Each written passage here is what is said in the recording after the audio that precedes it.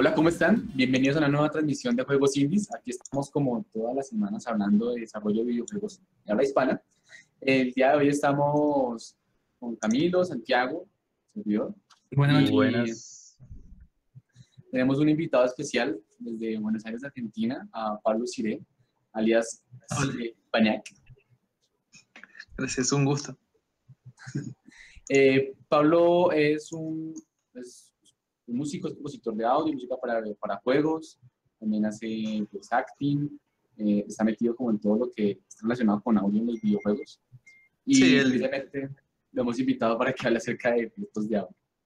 Em, entonces, pues recuerden, por favor, que puedan hacer sus preguntas a Pablo. O sea, vamos hablando con él acerca de todo un poco, acerca de su experiencia y, y pueden las cuentas ahí por el chat. Si quieren compartir el video con otras personas, están, eh, por favor, ayúdennos. Y eh, pues sí, ya, arranquemos. ¿Cómo estás, ahora em, bienvenido y muchas gracias. Gracias a ustedes por invitarme.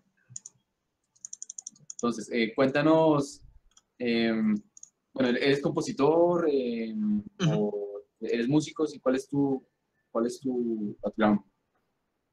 Bueno, yo arranqué como músico, eh, como que con los años se fueron sumando eh, roles o papeles que iba llenando, más que nada porque...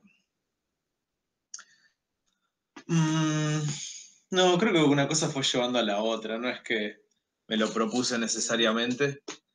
Eh, yo arranqué estudiando música y después estudié doblaje. Mm. Y después Creo que volví a la música. Son años confusos los de mis estudios. Eh, pero la cuestión fue que un día en una fiesta me crucé con un tipo que se llama Patricio Guerra eh, y me contaba que estaba haciendo un videojuego y yo le dije, uh, yo quiero hacer música para videojuegos. Y así arranqué. Una semana después él me estaba preguntando, che, ¿vos sabés hacer eh, música electrónica? Digo, no, no había hecho en mi vida. Así que fui al mi piano eléctrico, busqué un, un sintetizador, lo más pedorro que tenía, y estuve cinco minutos y le dije, sí, sí, sí, al final sí puedo.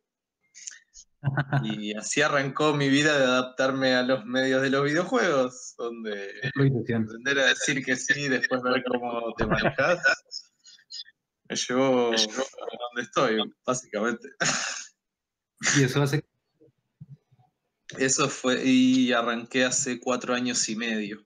Actualmente, como para resumir todo lo que hago, me llamo generalista de audio, porque básicamente puedo hacer todo lo que requiere audio en un juego. Desde la música, efectos de sonido y doblaje. Sí, y también integro en Unity porque me recibí de programador en la secundaria, porque yo quería hacer videojuegos de chiquito. Y la secundaria se encargó de destruir todos mis sueños. Y después volví por otro lado. ¿Cómo fue eso un poco de, de que se, o sea, de dónde surgió la idea de que querías hacer videojuegos y cómo fue que se fue abajo? ¿Y cómo volviste a...? Uf, eh, todo arrancó creo que por sexto, séptimo grado, donde por supuesto tenía una idea de hacer un MMORPG donde controlabas dos personajes al mismo tiempo. Y mi idea era que vos te, eh, el segundo personaje, o sea, la cuenta pudiera ser compartida con vos y un amigo. Y, y, cuando estaban los dos podían usar los dos, cada uno un personaje, y cuando estaba solo podías jugar con tu, por tu cuenta. Esa era mi idea revolucionaria. Yo creo que para cuando yo estaba en séptimo grado, que fue hace como más de 10 años, considero bastante revolucionario. Eh, sacando que necesitaba algunos millones de dólares, por supuesto. y entré en la secundaria y no sé bien qué pasó en la secundaria. Problemas, hormonas, eh, muy mal, eh, una carencia total de... En realidad yo, yo creo que quería ser game designer, no sé si quería ser tanto programador. Entonces cuando me presentaron la programación y empecé a hacer bases de datos más que videojuegos, perdí total interés. Claro. y, después empecé a estudiar música y como había perdido interés en todo lo que era programación, me fui por otro lado y yo todavía quería hacer videojuegos. Así que bueno, música, bueno, música para videojuegos. y después, haciendo Drop Alive, eh, me di cuenta que, bueno, ya podía hacer eh, música y sonidos y dije que estaría muy genial porque ya me había pasado en un juego anterior el programador puso todos los sonidos en el juego y había un montón de desbalances de sonidos y dije, yo programé, yo puedo aprender Unity, no puede ser tan difícil. Y bueno, no lo fue. Después de estudiar tres años en la secundaria, y aunque habían pasado varios años, eh, no me fue difícil retomar y aprendí Unity y aprendí a programar en C Sharp y después Xmod y después Wise. Ok. Y bueno, una cosa llevó a la otra y haciendo de a pasitos se aprende todo. Y luego, para un, un, poquito de contexto, ¿cuál es la dificultad de integrar el audio en Unity? O que Um, a, nivel, a nivel programación, yo lo considero bastante básico. Ok. Em,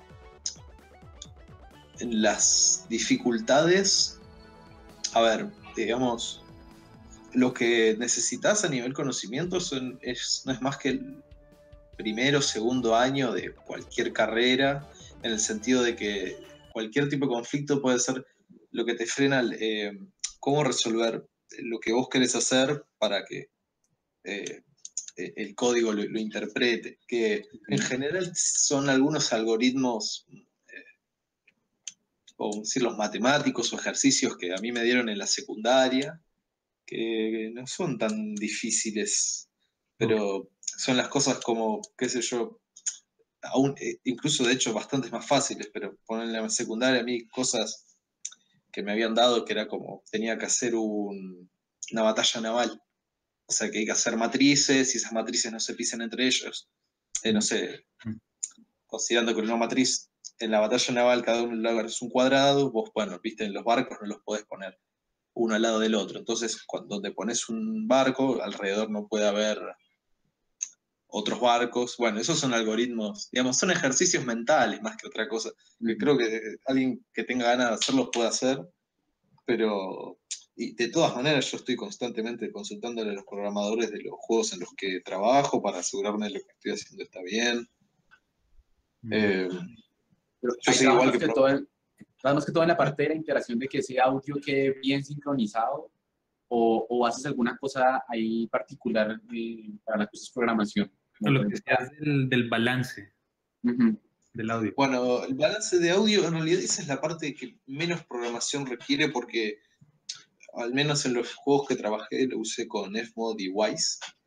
Eh, y eso, todo lo que es balance del juego lo podés manejar directamente desde esos programas que se manejan mucho como programas de música. Entonces cualquiera que sea músico ya lo puede hacer con bastante facilidad. Eh, las partes más complicadas, curiosamente, una de las cosas que más me costó fue hacer un sistema de pasos que te detecte distintos pisos. Mm. Eh, yo pensé que iba a ser de las cosas más fáciles y me llevó varios días. Eh, y bueno, después cosas como, a ver, en general no son cosas difíciles. En general te la rebuscas cuando en realidad no encontraste la, herramienta indicada en Fmod Wise eh, que ya hay un algoritmo o hay algo que te lo hace por vos. Em, y después mucho es como entender los programas y sus mañas. Em, bueno, como cualquier cosa. Igual, en general son bastante amables. Pero bueno, sí, si querés hacerlo bien, requiere un poquito de programación como para que eh, tus algoritmos sean más o menos óptimos y abstractos, como ponele, no sé, ahora el juego que estoy elaborando Baby, van a ver como mínimo un par de decenas de enemigos distintos. Todos los enemigos tienen un sistema, tienen sonidos distintos, entonces hay que pensar, o en realidad no sé, poder se puede hacer cualquier cosa en un videojuego, ¿no? Pero eh, mm. se pueden pensar algoritmos un poco más optimizados que otros, como para ahorrar recursos y que no termine siendo una fiesta de, de arcodeo intenso el audio directamente en el juego o creas assets para que luego se en el juego? ¿Qué es lo que haces ahí en particular? Yo en realidad hago todo. Creo el asset, lo pongo en Fmod, lo, lo codeo y me aseguro de que esté balanceado. Y es lo que, esto que mencionas, por ejemplo, en este caso particular de los diferentes monstruos, es que haces alguna modificación sobre este audio en el mismo motor para que se generen variaciones de este audio o, o qué es? Sí, hago Mm, dos cosas. Eh, por un lado, creo variaciones yo, eh, como en general, o sea, y dependiendo de la, la materia prima que tengas, si, si es buena materia prima, ya los distintos sonidos eh, hacen las variaciones. Si tengo poca materia prima, como por ejemplo tengo un solo sonido con el cual trabajar, eh, bueno, yo uso Reaper para editar el sonido. Para mí es una bendición de dioses. Lo fácil que se puede editar, lo, lo mucho que me habilita. Yo estaba con Audacity, con un- el programa más básico eh, y gratis de audio que hay, que la verdad que no les voy a quitar el mérito. Audacity para alguien que no sabe es una fiesta también. Pero bueno, cuando ya querés pasar a Reaper está muy bueno. Eh, y si bueno, si tengo un sonido, en general lo que hago es eh, juego mucho con el EQ, Mm, eh, juego mucho con el pitch, estiro o retraso ligeramente el sonido y les pongo un poco de fade out para que corte en distintos lugares. Eh, quizá incluso puedo llegar a usar un poco de distorsión si el sonido lo permite. Ok.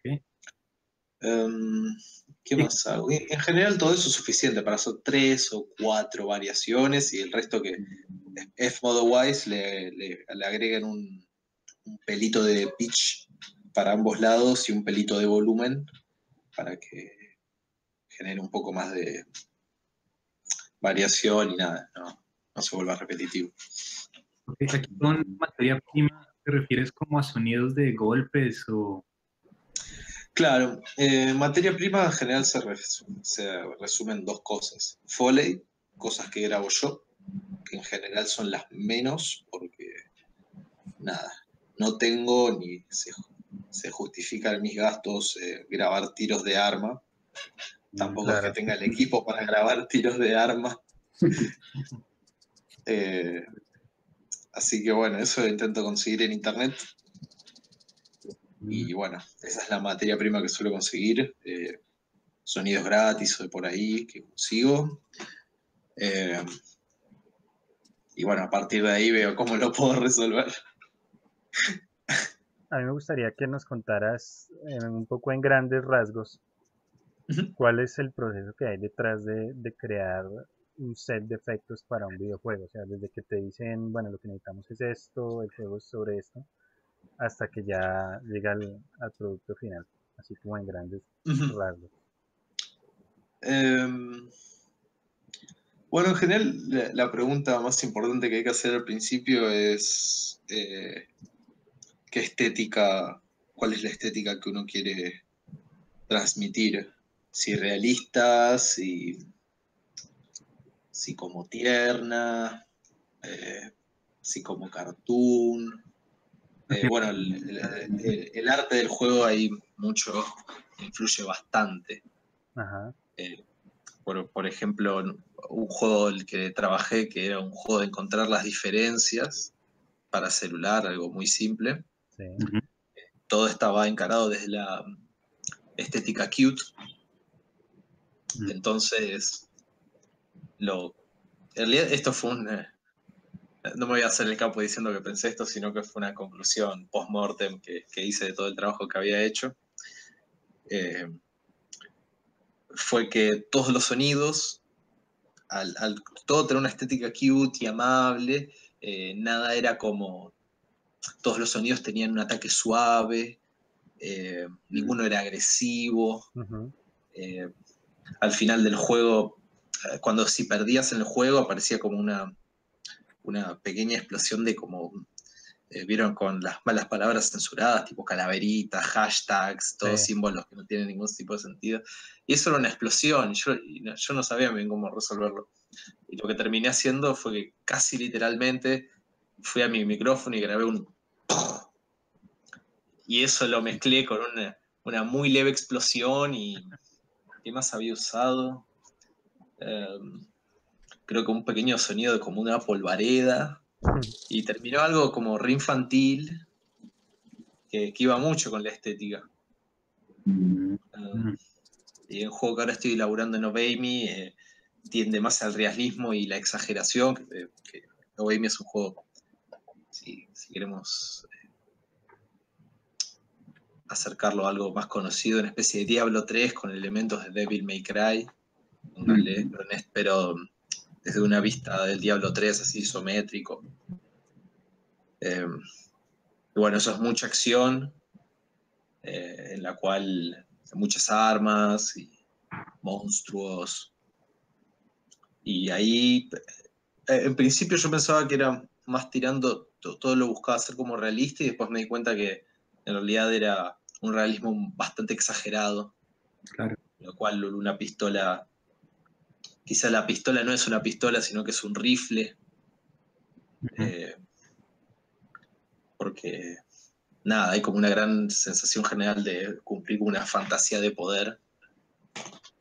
Y, y bueno, todo se, se siente mejor exagerado, así que, Claro. ¿por qué no? Entonces todo empieza con el arte del juego. Con el concepto. ¿Cómo? Todo empieza con el arte del juego y con la estética. Eh, sí, en general. Sí, hasta ahora en general en todos los juegos que me han llamado ya la estética ya estaba bastante definida. Mm, No, no pude participar todavía en la creación desde un punto tan temprano. Debe ser muy interesante. Y, y Me en, gustaría hacerlo. en tu concepto, ¿sientes que la música y el audio podrían jugar un papel muy interesante justamente en esa parte de- previa al diseño del concepto del juego? ¿O tienen un papel más importante más bien después? Em, eh, si, si se agarra al músico para agarrarlo desde el preconcepto, lo que se puede hacer es em, justamente como el artista agarra concepts, el músico también puede agarrar concepts, eh, en los cuales tanto el artista como el músico trabajarían juntos para armar la estética, la estética general del juego, cada uno apoyándose sobre el otro en vez de que digamos, el- la música se apoya enteramente en la, eh, en la estética del juego. Pero tampoco puedo hablar tanto porque no es un proceso que haya vivido todavía. Siempre me llaman más tarde.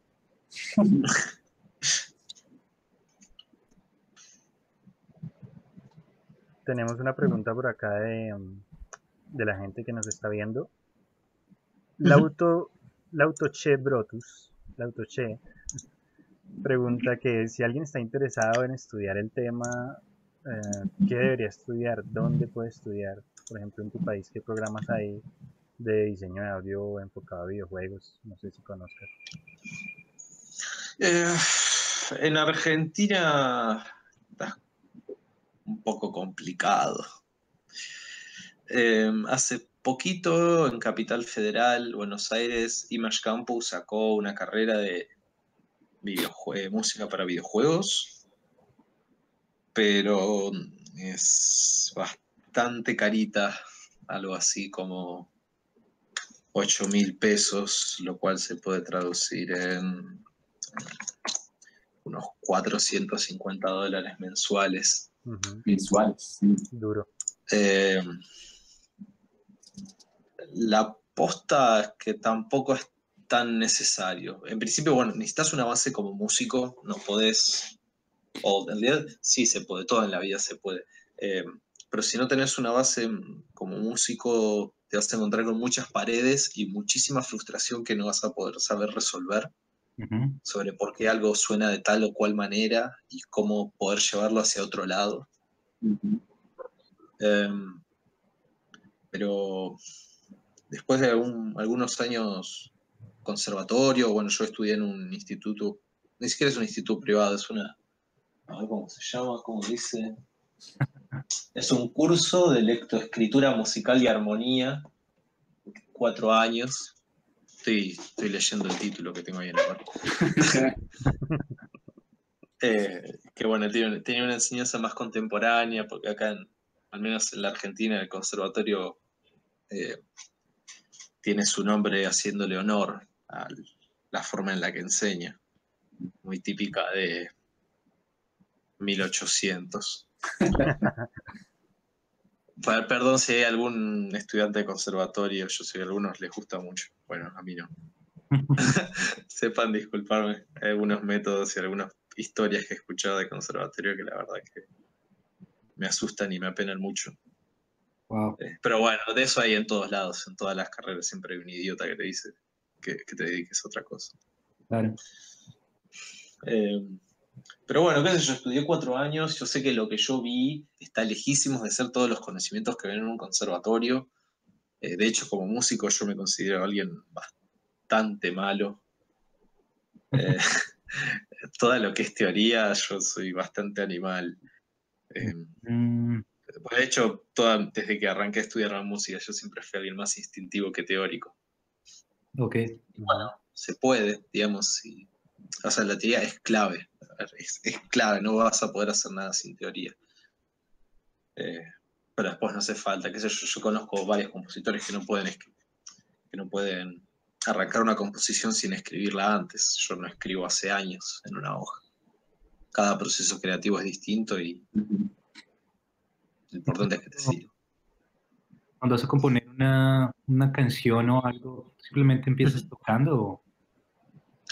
Eh, no, casi nunca, hoy en día. Eh, lo primero que suelo hacer es buscar referencias. Eh, de género, principio, cuando arranco, cuando agarro un juego nuevo, busco juegos similares y veo qué resolvieron otras personas. a veces encuentro cosas buenas, otras veces es bastante más decepcionante. por, por, poner un ejemplo, acá con Oh Baby siento que lo que hizo el Diablo y toda la parva de juegos que siguieron después, como el Torchlight, ah, eh, eh, The Incredible Adventures of Van Helsing 1, 2 y 3. Um, ¿Cuál es más bueno? Y algunos más, todos optaron como la opción Diablo 2, que es tipo tirar música de fondo y olvídate del tema. Mm. Eh, yo soy muy, muy obsesivo. De hecho, de las partes que más me divierte de hacer música para videojuegos es la parte interactiva. Eh, por ejemplo, en Obey hay tres capas de música que son cuando estás solo, cuando estás contra algunos enemigos y estás con, en lo que se llama un encuentro, que es, la típica que se te cierra un lugar, un cubículo y que no mates a todos, no te vas.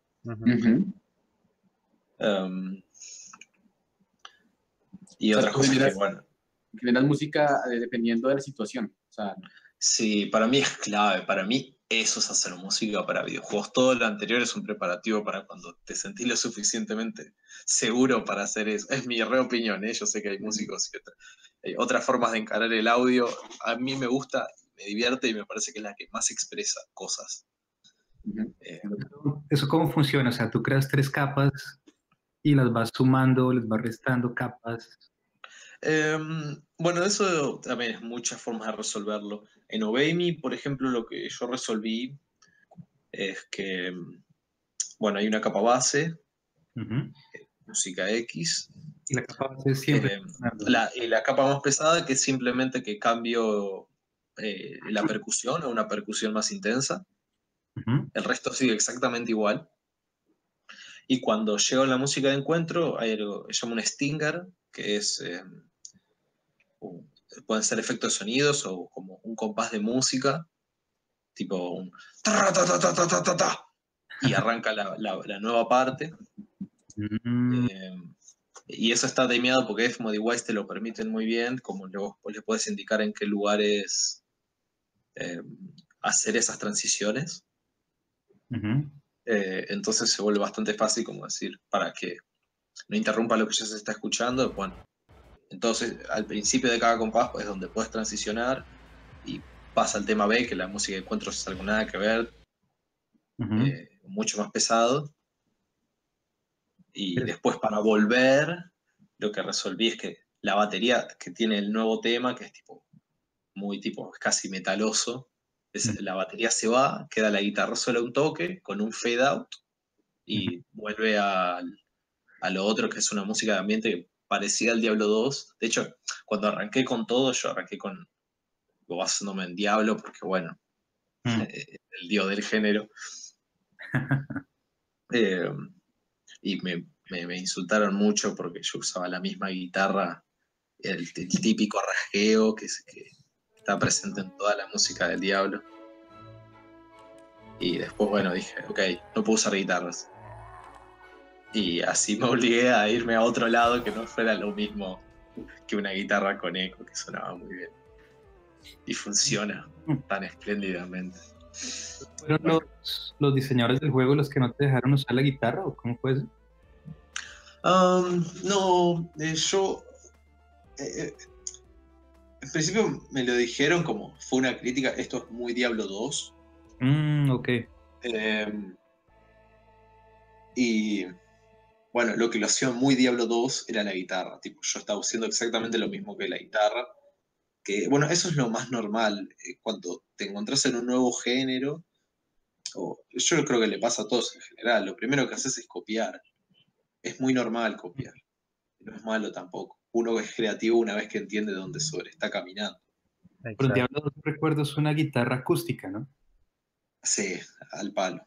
Mal. O sea, al palo de muy, muy ras- mucho rasgueo, Ah, ok. eh, mucho ese acorde que queda en el aire flotando. Es. Muy del Diablo 2. Que, Mm. que- que es hermoso. Yo la verdad lo, lo usaría si no fuera porque ya lo hizo alguien más. O sea, el tipo entendió muy bien lo que funcionaba. La verdad que sí. Qué interesante esto de las capas. La verdad es un concepto nuevo para... Yo no lo he escuchado mucho. Um, usan ah, varios juegos. Por ejemplo, no sé si vieron este juego se llama Pyre, es el nuevo de Supergiant Games, que los que hicieron. ah, ¿Cómo se llaman? Fire. Eh, Bastion, ahí está. Ah. Bastion o ah, el siguiente que sacaron es Transistor. Mm, em, eh, muchos juegos en general lo usan y no es tan... eh, eh, es difícil de notar si uno no presta atención muchas veces. Ok. Por ejemplo, el Doom. El Doom hace algo fantástico, fuera, fuera de este mundo. Ya. Eh, bueno, en principio, el tema principal, el instrumento del tema principal es una motosierra editada. Tipo, no hay remate. Ese tipo ya es Dios también. Mick Gordon Eh. se llama, ¿no? ¿Cómo? Mick Gordon, que se llama el compositor en Doom. Crack. No, no tengo otra palabra más que admiración para ese tipo. Bueno, y esto, que también me explota el cerebro. La cuestión es que, no sé si vieron en el Doom, la gran mecánica básicamente del juego, que para matar enemigos es rematarlos. Sacás cuando tienen poca vida y los haces puré, puré de sangre y carne. Eh, la cuestión es que estos tipos eh, lo que hicieron es que, bueno, hay una música de fondo, pero está hecha de una manera en la cual se puede interrumpir en cualquier momento y no parezca abrupto. Y cuando haces ese remate, hay un montón de stingers eh, eh, que interrumpen la música y, y- y duran, duran exactamente lo que es, a- lo que es el remate. Como, eh, y si, si- si le prestan atención a eso, eh, que nada, pasa de una, como una música más tranquila y aparece la guitarra y, tipo, ¡plá! y empieza a explotar todo el cuerpo de- del tipo. Yo. Y lo hace todo el tiempo. Hay como cortes para cada momento porque no hay mucho. no, eh, eh, Mm. no hay mucho tiempo para la música para reaccionar para cuando el enemigo aprieta la B corta y, y el enemigo empieza a explotar. Son milisegundos en, en tiempo de en tiempos musicales negras o corcheas, como, son tiempos bastante cortitos. Mm. Y entonces tenés que tener, tiene preparado stingers para todos esos momentos que irrumpen en la música sin el menor problema y la cambian y es el momento de explotar al enemigo que te hace sentir fantástico. Y eso Sí. es música interactiva al palo porque en cualquier momento vos vas a rematar a un enemigo y la música está lista para decir, sí, hagámoslo mierda. Y dices, ¡ah, Dios, sos un genio! es muy difícil componer, digamos, yo todavía estoy entendiendo cómo compongo y mientras compongo digo, ah, cierto que después voy a tener que hacer esta otra cosa. Entonces no puedo hacer la música de cualquier manera porque la música tiene que estar lista para ser interrumpida. Ok. Eh, y, y eso es, bueno, eso es uno de los retos a la hora, es como una restricción que te tenés que poner porque justamente la música puede ser muy linda, pero bueno, en un momento termina y la música tiene que estar lista para que se termine en, en el menor tiempo posible para, para bueno, cambie, cambia el momento y, y la música también tiene que cambiar porque cambia el momento. Entonces si tarda demasiado queda muy colgado y queda raro. Eh, y bueno, tardar poco no puede tardar porque siempre es muy, es muy difícil. Bueno, y además de- del personaje de Doom y Diablo 2, ¿cuáles son así como para ti de los mejores compositores de música de videojuegos? De los más influenciadores, más importantes. Uf, me van a tener que disculpar con los nombres porque yo soy pésimo. Eh, muy, muy malo. Eh, de hecho, cuando a, mí, cuando a mí me preguntan qué música me gusta, tengo que revisar el celular porque me olvido el nombre de las bandas. Si de desastre soy. Ok. Mi memoria a largo plazo es. Deja bastante que decir. Bueno, eh, Final Fantasy. Alabados. Alabados sea todo lo que crearon. ¿Qué hace? Yo, yo también he escuchado mucho que los, al compositor de Final Fantasy lo alaban mucho, pero, pero no sé por qué. Eso es por las melodías, es por la... Um, son las melodías y em, todos los momentos que logró crear que fueron tan buenos que hoy estamos en el Final Fantasy, debe ser como 20, digamos, contando todos los spin-offs, Ujú. Y, la- y siguen pasando los mismos temas rehechos. Vos escuchás la música de Chocobo y es exactamente la misma que la del número uno. y, y que sea tan icónica y, y divertida y, eh, y- se mantenga sobre el tiempo, eh, eso para mí es lo que la hace fantástica. Mm, Son temas que se usan una y otra y otra vez y no se cansan y la gente espera escuchar esas cosas. Yo estaría terriblemente decepcionado si la música de Chocobo fuera otra que no fuera la que está. Em, ok. Y bueno, está buenísima también, ¿no? Como la música de combate del Pokémon. Si, si te sentás a analizarla, uf, yo no puedo. Yo no entiendo muchas cosas que hacen. Es increíble y, y es al palo y funciona siempre. Pues sí, la de Pokémon es pegajosa, pero, pero nunca me había puesto a analizarla, la de batalla. Uf, sentate a escucharla y. eh, no, te, no te diría que mires una partitura porque ni, ni yo le encuentro sentido a alguna cosa, pero si te sentás a escucharla vas a ver que pasan un montón de cosas todo el tiempo y funciona, funciona porque el juego Pokémon es un juego en el cual Claro. Es la misma música durante todo el juego. O sea, es un, un tema que escuchás 300 veces y es la 300 y no dijiste, che, que ah, basta. No fuiste a apagar la música. Eso, eso, de- eso requiere un nivel de habilidad y de destreza para no desgastar el oído que es muy difícil de lograr. Muchas iteraciones debe haberle llevado. interesante. ¿Y sabes cómo se logra o, es? Uf, um, teóricamente, teóricamente lo que funciona para eso es que sean muchos momentos. Eh, darle mucha información nueva, no compleja, sino que nueva al oído, hace que haga que siempre se mantenga fresco. El problema con eso es que generar muchos momentos es muy difícil. O sea, cada momento es una nueva idea. Entonces un tema tiene 10 momentos, tiene 10 ideas. ujú, Y, y bueno, depende del compositor, tres ideas puede ser un montón. Eh, mm, un tema normal, un tema normal de tres minutos tiene A, B y C. Y, de- y- y desarrollos. eh, Dicen que a veces tienen A y B, o, o incluso a veces solo tienen A. Y son tres ideas, y es un desarrollo de eso durante tres minutos. Y bueno, el tema de Pokémon tiene como 10 momentos y dura un minuto y medio, si mal no recuerdo.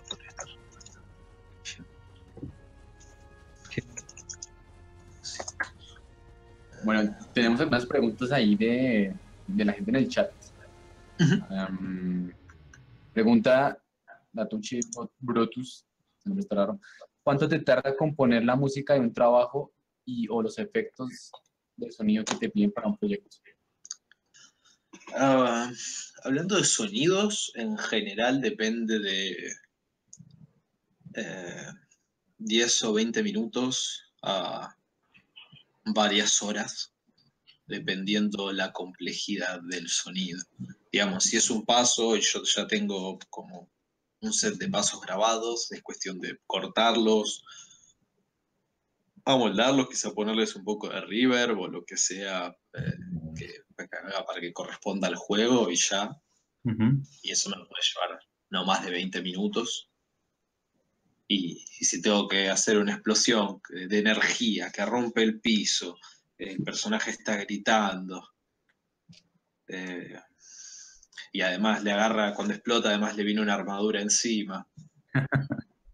Eh, bueno, eso puede llevar un rato, un rato interesante, porque en principio tengo que definir, tengo que entender cómo es una explosión de energía. Cuando entra la energía en juego puede ser un parto de cabeza, porque es un sonido que no existe. realidad. Digamos, los sonidos más difíciles son los que no existen. Sonidos de UI, de, de interfaz, eh, sonidos para cosas que no deberían suceder en la vida real. Todas esas cosas hay que usar mucho la imaginación y bueno, irle con los años, entre más años lo haces, es mucha experiencia hacer de sonidos. Eh, eh, pensás algo y decís, bueno, no sé, esta explosión que puede ser energía, ¿qué es la energía? Y la energía puede ser, eh, ¿cómo se llama? Creo que es un celofán. No sé si vieron que hay una, como una,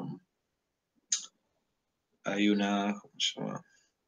No es, no tabla, es eh,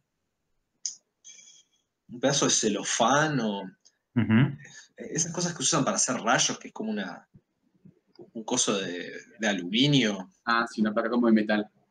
Sí, esas cosas, bueno. Esas cosas si las mueves eh, poquito pueden hacer algunos sonidos de energía. Definir la energía es un concepto muy difícil, ponerle en OBMI se usa mucho y hasta que lo encontré, entender, definir, eh, fue, llevó un buen rato. Eh, una vez que se definen las estéticas o como qué es lo que representa algo, digamos, ¿qué, qué es energía? Energía es tipo esta serie de sonidos. Ok, cuando necesita algo de energía ya sé de dónde elegir. A partir de ahí es algo mucho más rápido. Eh, pero definir la estética es la parte que lleva más tiempo y a veces puede llevar eh, varios días porque hay que hacer iteraciones te lo tienen que escuchar y decir sí, y tú, el game designer o el productor dice sí, más de una manera, más de la otra.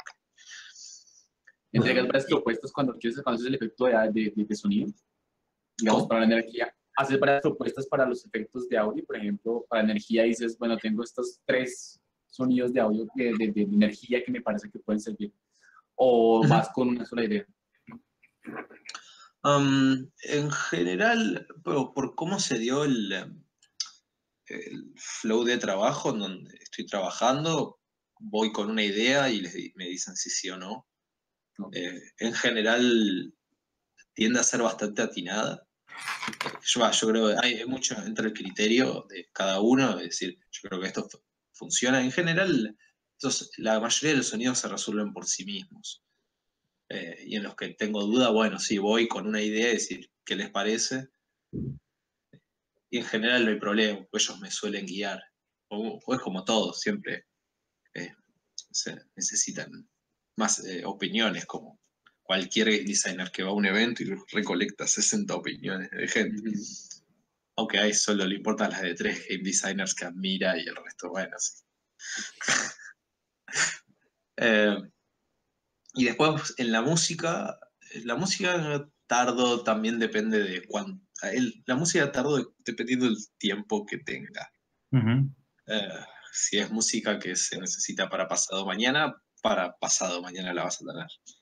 si es música que se necesita para dentro de dos meses. Y bueno, puedo llevar un tiempo. O sea, en mi opinión, eh, la música funciona mucho mejor si le das tiempo para respirar. Claro. Eh, es algo que podés trabajar un día y olvidarte y después volver a trabajar. Eh, y como tener como varios inicios frescos hacen que quizá se puedan cultivar mejores ideas. Eh, incluso, digamos, tener el tiempo para hacer muchas. eh, porque mm, la música, como yo compongo, como yo vivo la música, entre más ideas genero, más puedo atinar a donde, a donde quiero ir o a donde más me parece que puede funcionar o más divertido va a ser. Eh, si tengo el tiempo, yo voy a hacer varias ideas eh, que dependiendo de si me parecen buenas o no, se las voy a mostrar al game designer. Mm, si me parece que están buenas y me interesa una segunda opinión, voy a mostrar todas. y me parece una mierda la mayoría, que es lo que suele pasar, eh, voy con la que más o menos me parece, con mucha inseguridad y veo que me dice. Em, pero sí, en general es eso, si se puede y si hay tiempo y permitir que el músico haga como varios conceptos. A mí me gusta mucho jugar. Yo una vez vi una charla de una directora de voz que tenía un juego que era que le pedía a los actores de voz que cuando hicieran una frase agarraba dos extremos, como por ejemplo, eh, conceptos abstractos, como decirle, quiero esta, decime esta frase lo más frío que puedas, y ahora decime esta frase lo más caliente que puedas, ok, Ok. y ahora me y ahora decímela justo, como en el punto exacto, ujú. como toda interpretación del, del, del actor o actriz. Y yo dije, che, esta- este concepto está bueno, así que yo también agarro y digo, agarro una composición y digo, bueno, ok, esta composición va a ser lo más frío que pueda, y ahora va a ser lo más caliente, y ahora va a ser justa. Eh, en general intento agarrar como los dos conceptos que... O sea, y ahí hay dos vertientes, hacerlo como que, digamos, este, este nivel es tenebroso, que bueno, lo más tenebroso y lo más infantil o lo que sea, o bueno, agarrar dos conceptos nada que ver, no sé, decir, lo más cemento y, y lo más aguoso que puede encontrar. Y bueno, que ahora el tiempo, eh, Ahora el, el intermedio justo. No sé, es, es flashear y divertirse. Eh, pero bueno, hacer ese tipo de ejercicios, como agarrar extremos y después ir por el justo, o sea, lo que eso signifique, eh, permiten como desencajarse. A mí, yo, a mí la forma que más me divierte componer es en la que me deja incómodo. Eh, y de paso porque yo soy muy mal estudiante, entonces aprendo componiendo y es como un dos por uno. entonces, bueno, está bueno. Yo creo que la mejor forma de componer es poniéndose en un lugar incómodo porque si no termina uno haciendo bastante lo mismo y no, cre no se crece. Si no se crece, no te contrata nadie. Mm. Hablando de, hablando de contratos y de plata, Oh, eh, no. aquí te hacen una pregunta, no, no, no es nada, digamos, de A ver. cantidad específica, pero para el que quiere como interesarse en este mundo es una pregunta clave y es que si se puede vivir de lo que haces, que si, si realmente te da para vivir o te ves obligado como a buscar otra, otros trabajos alternativos.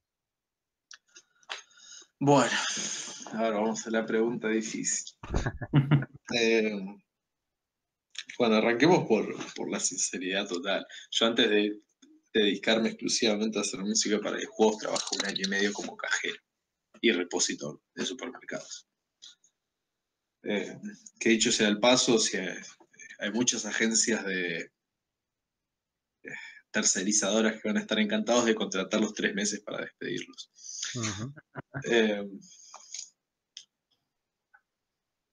yo actualmente vivo con mis padres.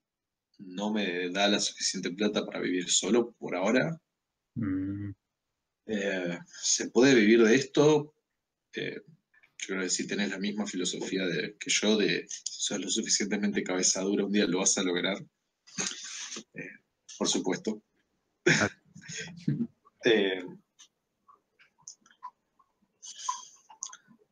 lleva tiempo, es difícil. Pero es especialmente difícil porque para poder vivir de esto hay que saber de cosas que no tienen nada que ver con hacer música o efectos de sonido, sino que ser como un, buen freelance, lo cual significa saber llevarte bien con las personas, eh, eh, significa saber promocionarte en internet, significa saber hacer contenido, mantener las redes sociales activas, tener yo tiro muchas cosas, ¿no? Que debería ser el freelance ideal, ¿no? No, digo que hago todas. Eh, tener un blog en el cual le contás a la gente qué haces, tener una página. Mm. Em, en principio, mi consejo personal es que no se dediquen como full cabeza dura a hacer solo voy a hacer música para videojuegos. Em, como intentar apuntar también a comercial o cine. Mm. Em, la música tarda mucho en empezarse a pagar. Em, eso es algo que hay que tener muy en claro desde el día de uno. Porque si no se van a frustrar como a mí me pasa cada un par de veces al año que como yo estoy haciendo todo bien porque es que no me llega plata y ese, es el encare, ese es el encare completamente incorrecto porque uno hace todo lo que puede porque depende de uno y si el otro lo quiere ver o no, es, eh, no, es algo que vos puedas manejar. Entonces, eh, uno se tiene que concentrar como, o sentirse bien con uno mismo con el mero hecho de decir, yo hice todo lo que pude eh, y después, bueno, estás a la suerte de, los cultivos, de todo lo que estuviste regando los semanas, meses o años de lo que venís trabajando. Em, no es fácil vivir de esto, para nada. Em, ¿Se puede? Sí, se puede, pero no vayas de uno con esa mentalidad, no lo esperes tampoco. Es algo que eventualmente va a venir, pero no lo esperes de entrada, porque te vas a decepcionar mucho, con vos mismo. Tipo, te vas a entristecer porque no vas a entender qué es lo que está pasando, por qué no. Y es algo que a veces, más que nada, ser freelance. Puedes tener meses muy buenos y meses donde no vas a conseguir un mango. Son cosas que vas a ir aprendiendo. Uno aprende cuando es freelance.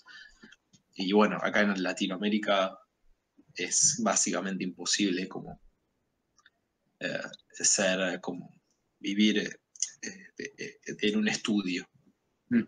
Eh, como que esa idea básicamente te la puedes olvidar.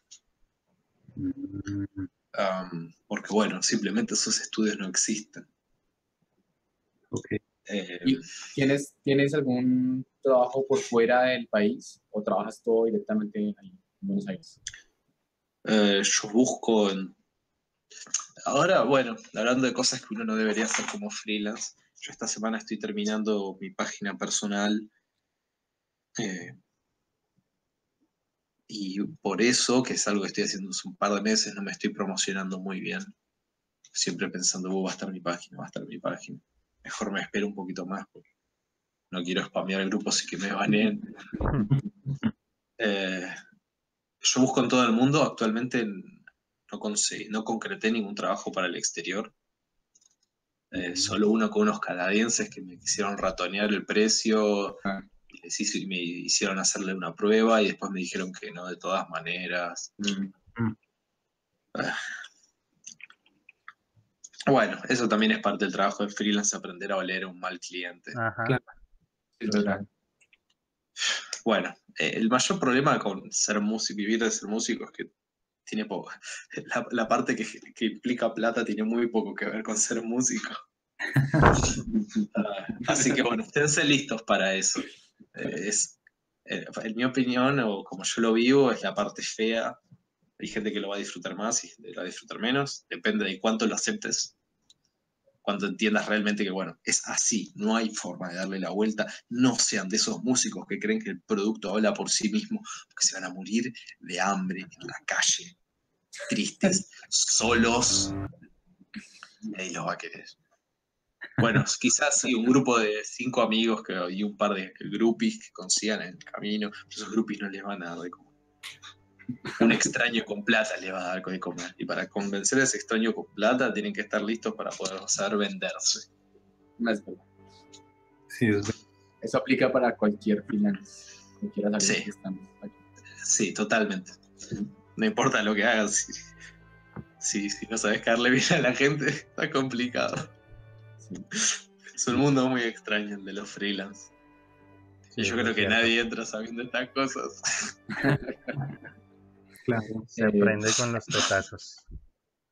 Sí, a, a full, a full. Hoy en día sigo perdiendo clientes porque digo, "Uh, no hice tal o cual cosa bien, es muy difícil. Bueno, es parte de la experiencia. Nicolás Aguilar pregunta qué herramientas usas para componer la música. Bueno, en general, sería, me gustaría que nos contaras sobre qué herramientas usas para hacer eh, efecto, audio. Ah, ¿Qué recomiendas? Eh, programas que yo uso son el FL Studio y el Reaper. Em, como programa del estilo eh, que llaman DAW, eh, Digital Audio Workstation, como eh, Ableton, eh, Pro Tools, eh, Cubase, yo uso FL Studio, son todos más o menos lo mismo, no se calienten porque cual o tal. Lo importante es que ustedes se sientan cómodos. Si ustedes se sienten cómodos, si encuentran los, los atajos rápidos para abrir tal o cual ventana y, y su workflow lo consideran copado, ya está, quédense ahí, no necesitan nada más. Eh, punto.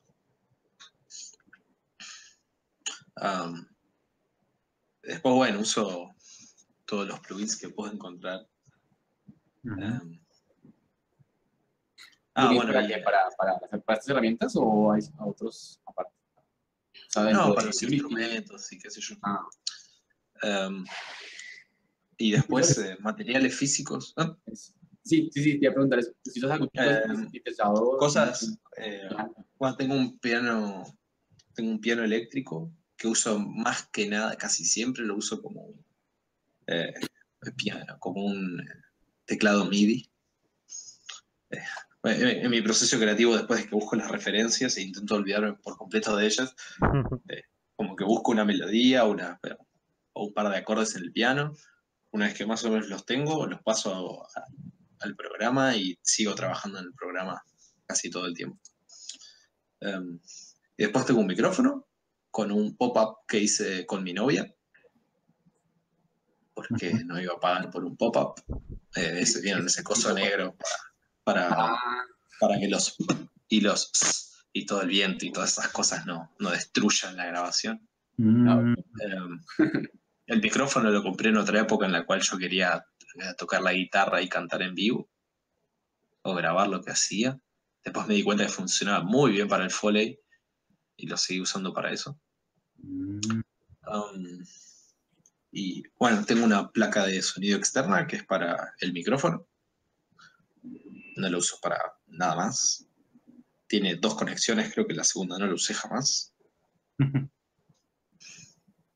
Um, y creo que eso es todo.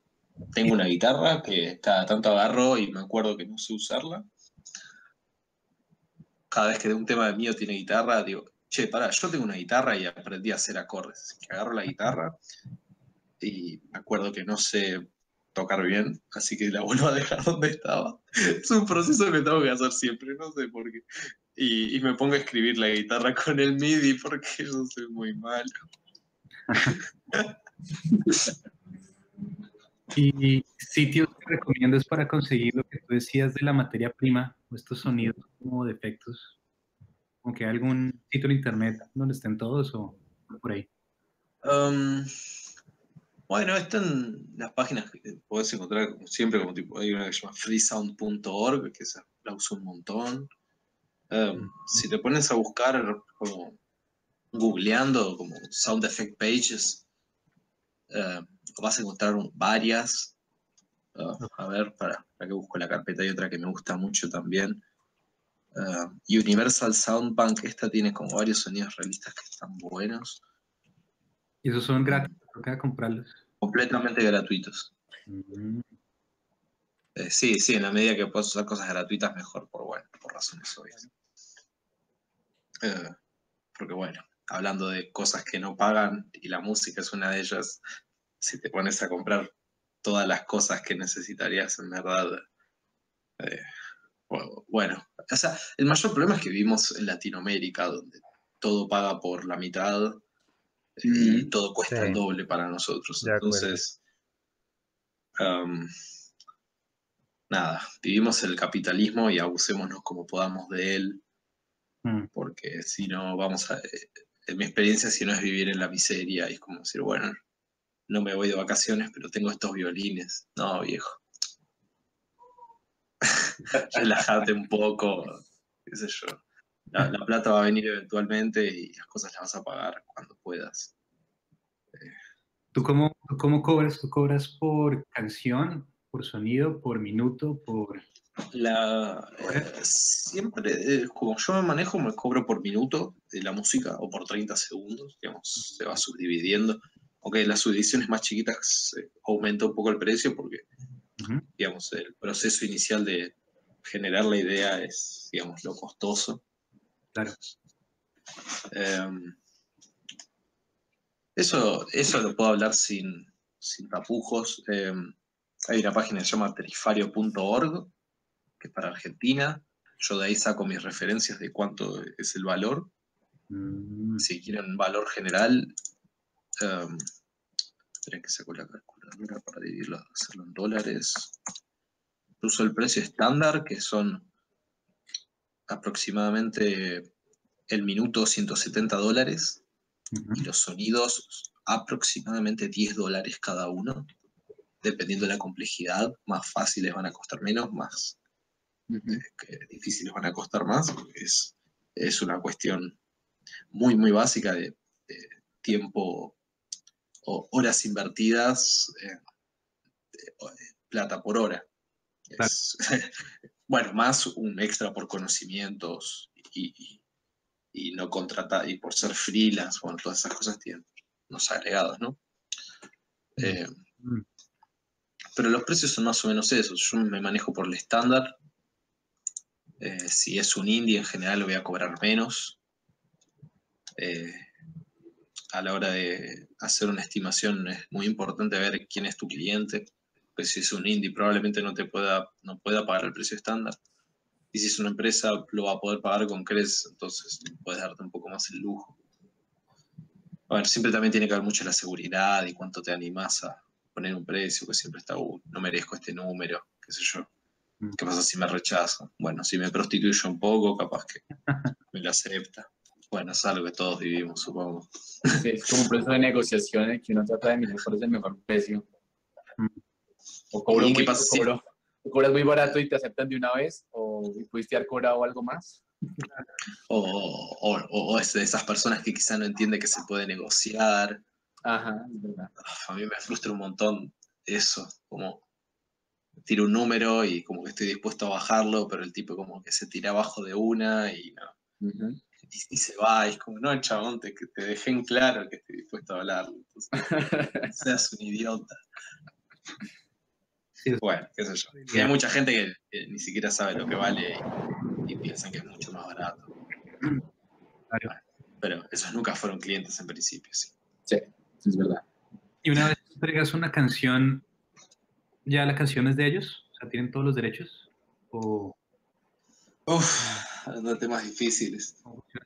Bueno, bienvenidos otra vez al, al negreo de Latinoamérica. Eh, esto varía igual de- un poco de país en país. En Argentina en general se suelen eh, ceder todos los derechos. Mm, Eh, Incluso Morales, ¿Cómo? incluso derechos morales, o sea, por ejemplo, que tú fuiste el compositor de esa obra. Ah, sí, sí, eso, eso es innegable. Eh, Ah, ok. eh, es derechos en el sentido que la música pertenece a ellos. Ellos te tienen que decir siempre de dónde lo usaron eh, y que vos sos el compositor. ah, bueno. Pero la pueden explotar. Pueden vender un O sea, eso, eso sí que se cobra más, eso, eso yo jamás lo soltaría por... Pero, porque Ahí pasas a hacer lo que se llama un eh, ghost producer, un productor fantasma, en el cual vos le estás componiendo de otra persona y esa persona está tomando el crédito, o digamos, eh, el crédito lo toma una productora eh, y nada. Eso se cobra más por razones obvias. Mm. Eh, en el mundo lindo de Estados Unidos, si vos querés todos los derechos de algo, tenés que pagar el triple. Ah, ok. Ah, igual los derechos casi siempre son, es una cuestión de egos, porque, digamos, vos les, yo te doy todos los derechos, ¿no? Vos podés usarlo para lo que vos quieras. Ahora, ¿qué te afecta a vos que yo retenga también los derechos? Digamos, estamos compartiendo los derechos. ¿A quién le importa si, si tu juego, el cual no se va a acordar nadie en dos años, se- ese mismo tema parecido se vuelve a usar en cinco? Porque lo más probable es que no lo vuelvas a usar en mucho tiempo, o digamos, ok. agarres la misma materia, la materia prima y la retrabajes. Eh, es el orgullo de, no, mirá si van a usar mi música en otro lado. ¿Quién le importa? Tu juego que seguro le va a ir mal como al resto. O aunque le vaya bien, nadie se acuerda de la música de otros juegos, a menos que tipo, sea súper famoso. Sí, es verdad. Difícil. Para mí es una cuestión de egos y creer que, como, es mío, es mío. No, no me lo saques. Bueno, Acá- una- no sé, voy a hacer un último comentario que es el de. Gonzalo. Sí. Sí, sí, sí. Ok. Eh, Gonzalo Cantarelli, que nos acompañó en las primeras Amigo de la charlas, casa. Sí, Gonza. Nos dice que Ah, hablando de Gonza, eh, mando un saludo a Nico Araujo, no sé si está escuchando, me dijo que Hola, Nico. un saludo. Em, Gonzalo nos dice que si nos puedes hablar un poco de lo que hiciste en Tropa Live, que dice que es algo que está muy bien logrado y por ahí vi otro comentario también. mismo. Entonces, si quieres, eh, puedes como contar qué, qué es lo especial que tiene Tropa Live. Um, bueno, Dropa Dev tiene una vuelta interesante. Dropa Dev fue el proyecto junto a Nicolás Lince y Nicolás Araujo. Um, eh, un proyecto gratis que iba a ser como una especie de portafolio para nosotros, para poder mostrarnos al mundo. Ah, Entonces yo me dije eso, eso mismo, de ok, esto va a ser un portafolio. Entonces todos los temas van a tener su propio nivel. Ujú. Eh, además, la gota, el, el juego para quien no lo conoce, es un juego de plataforma donde sos una gotita de agua que... De hecho yo acá tengo... Ahí, um, ahí lo ah, estamos la- mostrando. La, de agua no la tengo. Bueno, no importa. A ver, acá están la de hielo y la nube. Mm, son una piedrita. ah, no. Después volver a mostrar que no lo estaba yo mostrando. Ah, bien. Ahí está. Hola. Eh, la de agua no sé qué le pasó, creo que se la di a- Bueno, no importa. Em, entonces, la- el- el- es un juego de plataforma 2D, como el Mario, que tenés que llegar al final del nivel. Eh, el agota tiene tres estados, que son los lógicos: agua, vapor y hielo. mm, Plasma no llegamos. Eh, entonces, si hay tres formas, tienen que haber, por supuesto, tres estéticas musicales. Claro.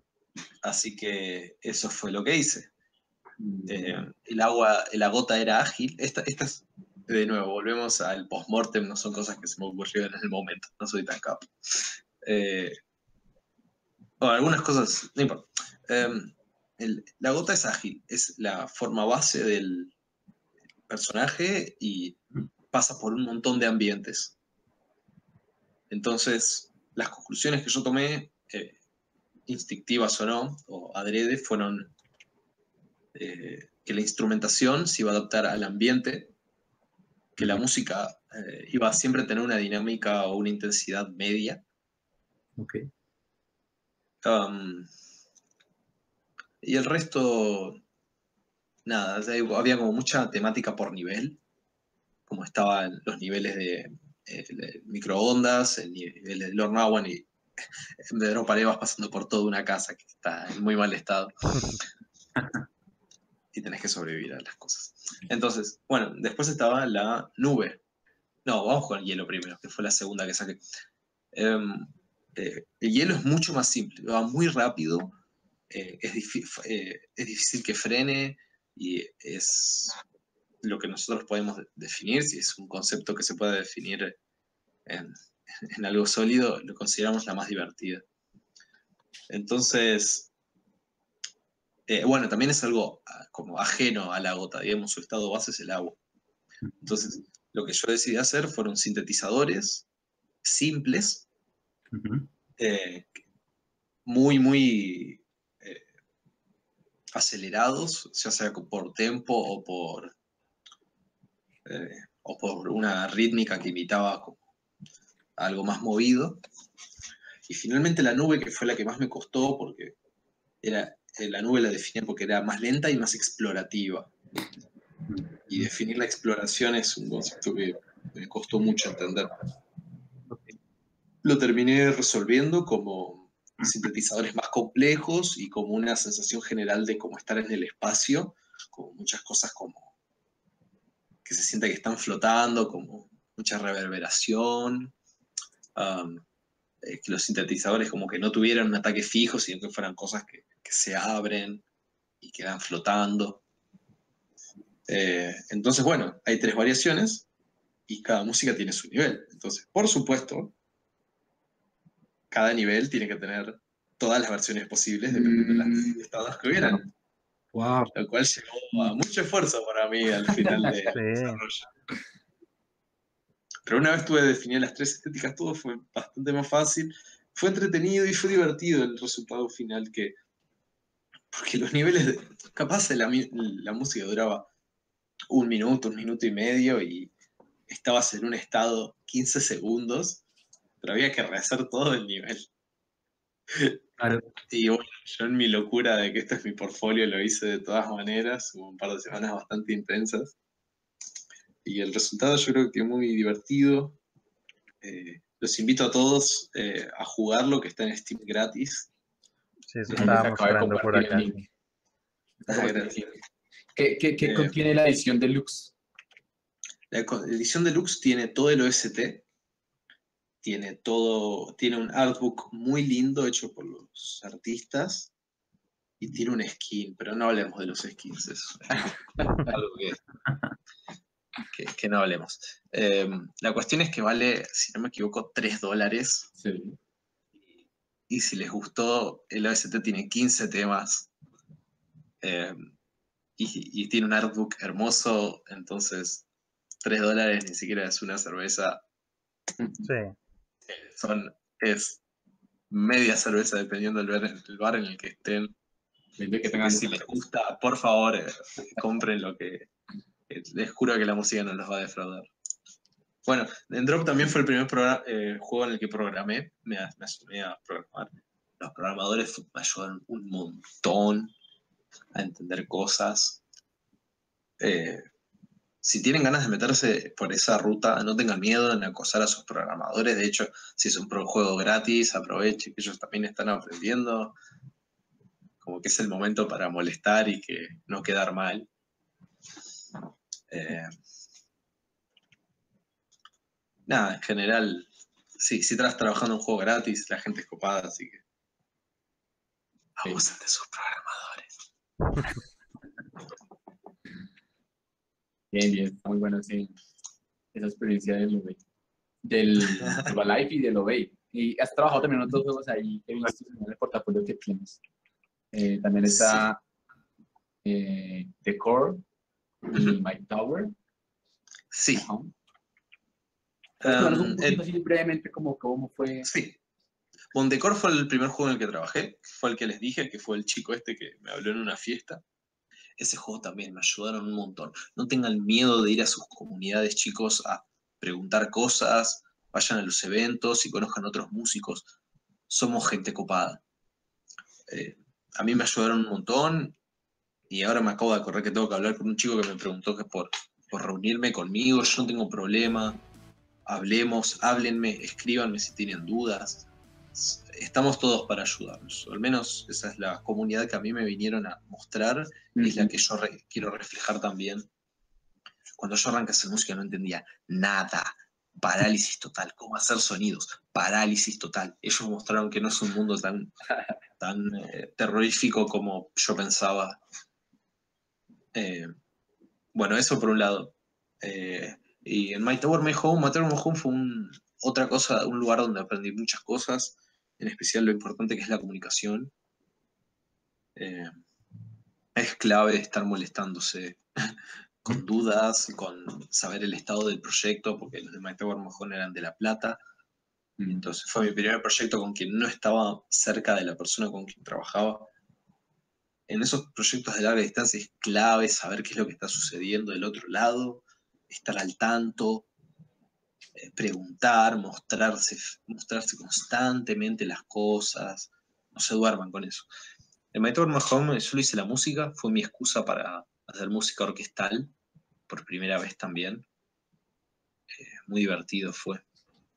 Eh, y ayudé un poquito los SFX, en principio lo iba a hacer yo, pero mala comunicación hizo que lo terminara el, el, game designer. Compró un pack de sonidos y se me dejó medio a él. Yo le di una mano con un par de cosas, pero hubo mucha mala comunicación ahí. Eh, pero bueno, esa fue mi lección del juego. La música quedó re buena igual. Bueno, Pablo, y ya como para finalizar, ¿qué consejos le darías a, pues en general, a cualquier persona que esté trabajando en algún equipo de desarrollo o en algún videojuego, así no sea músico? Hablen entre ustedes, idiotas. Comunicación, o sea, al día de hoy es como, el día de hoy es, creo que es el problema, es el problema que nadie te va a enseñar. Es el problema que todos tienen, es lo que la vida entera eh, nadie te dice y todos tienen que aprender de una manera u otra, aprender a comunicarse, tratarse bien con las otras personas, saber expresarte. No tengan miedo en buscar un libro al respecto. Yo soy muy del palo de que todo se puede aprender.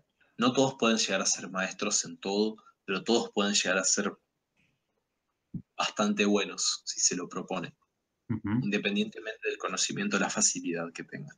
Es una cuestión de eh, voluntad y de perseverancia más que otra cosa. entonces, partiendo de esa base, que todos somos malísimos en todo, de hecho les cuento, ninguno de ustedes respira bien, yo tampoco. Todos usamos la mitad de los pulmones. Así que ni respirar bien lo hacemos. No tengan miedo en agarrar, agarrar un libro que hable de cómo comunicarse mejor con otras personas. Porque no sean una idea de lo mucho que le va a facilitar toda su vida. Porque su vida se trata de hablar con otras personas, chicos. Entonces, si saben hacerlo bien, su vida va a ser mucho más fácil por razones obvias. eh, se sorprenderían mucho de los vicios que uno tiene a la hora de hablar. Claro. Eh, sobre comentarios o cosas que uno dice que hace que el otro en el fondo del cerebro piense, este tipo no es tan copado o, es un idiota, o, quizás simplemente nos expresamos mal. Um, y nada, es, las cosas más básicas, es algo que no les va a enseñar ninguna facultad, pueden salir como ingenieros informáticos y no pueden ser y no poder ser jamás el líder de un equipo porque no saben expresarse bien. Eso es tristísimo porque las, cadenas de mando, cualquier cadena de cualquier empresa, uno arranca como obrero especializado, sea programador, artista, músico, no importa lo que sea. Arranca como un obrero especializado y a partir de ahí todo lo que entre más suban, más social se va a volver su asunto. Eh, bueno, y quizá más burocrático también. Pero el siguiente paso es ser director o líder de equipo sociales. ¿Qué es lo que lo cambió? Tienen una, visión más grande del proyecto y tienen gente a cargo. ¿Cómo manejan a la gente a cargo? Hablándoles, tratándolos bien, por favor. Eh, y, de ahí para arriba también, la visión general más del juego y, y hablar con más gente y saber guiar a esa gente. Porque cada comentario que ustedes dan mal es feedback, eh, es cosas que van a tener que volver a hacer en el futuro. Entre más arriba están, más peso tiene eso. Claro. Porque si ustedes comunican mal una idea y después la venden de otra manera, después hay que rehacer un montón de cosas porque ustedes lo dijeron mal.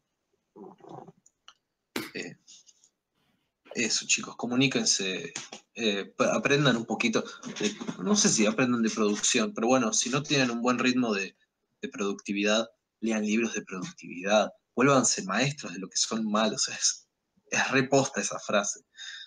Eh, porque si ya son buenos en muchas cosas, si se, además se vuelven buenos en las que son malos, son buenos en todo. Y, y- y la gente que es buena en todo crece rápido. Mm. Excelentes consejos, Pablo. Gracias. Sí, eh, esa muchas es mi lección. Sí, Pablo, Para muchas gracias. 68.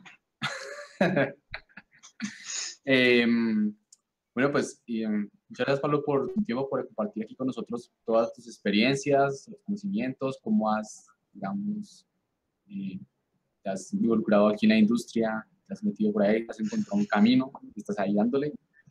Em, nosotros compartimos algunos de los juegos en los que está trabajando y ha trabajado Pablo, entonces por favor revísenlos, vamos a colocarlos igual en la descripción del video. Em, síganlo ahí, tiene el perfil en SoundCloud, SoundCloud también lo compartí, también está su página en Facebook. Em, Sí, síganme en Facebook. Ahí está mi página. y, Ahí van a recibir todas mis noticias. bueno, igual, yo creo que igual estás abierto por si alguien tiene más preguntas y que quiere de pronto algún consejo o algo, pues puede hacerlo por ahí. Escríbanme a la página o encuéntrenme en Facebook, yo les voy a contestar. Facebook es la mejor herramienta para encontrar. No me busquen en Twitter, soy malísimo usando Twitter, lo odio, no sé ni por qué lo tengo. Porque me dijeron que hay que usarlo. Sí, pasa mucho, ya nadie usa Twitter. Bueno, muchísimas gracias a ustedes chicos por invitarme. Está buenísimo el programa. Gracias. Sí, Pablo, Bueno, chéverísimo. Muchas gracias por, por todo lo que has compartido con nosotros y, y nada, quedan aquí también las puertas abiertas de la comunidad cuando quieras mostrar tus, los juegos en los que has participado, la música que haces o los efectos. Eh, Genial, gracias. aquí está este canal. Bueno, ya saben, por favor, denle like al vídeo, compartanlo, suscríbanse, den la campanita, todo lo que se puede hacer. Estén pendientes, recuerden que cada semana estamos haciendo un nuevo streaming. Y si quieren que entrevistemos a otra persona, alguien que esté interesante, así como para que nos comente, por favor, avísenos. Eh, Pablo nos recomendó Luciano, ¿right? Entonces, ahí, ahí está. Creo que fue muy buena recomendación. Estuvo muy chévere la charla hoy. Muchas gracias. y ya saben, entonces nos vemos la próxima semana ¿Listo? otro tema. Muchas gracias. Listo. Adiós. Hasta la próxima.